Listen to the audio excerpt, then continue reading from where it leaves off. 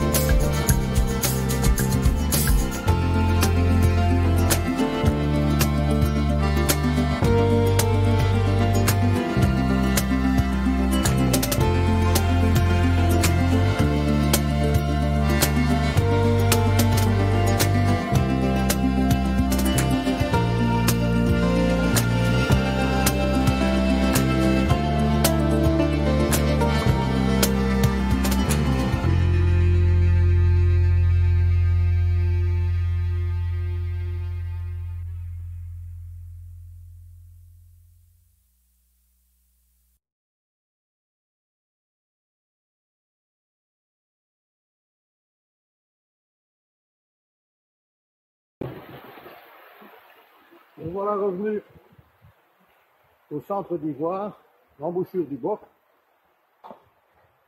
Boc qui bien sûr est plus bas que d'habitude suite à l'abaissement du niveau de la Meuse.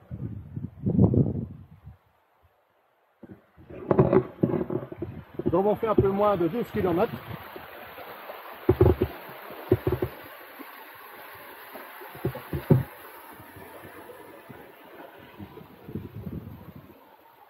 Un soleil magnifique, pas un nuage.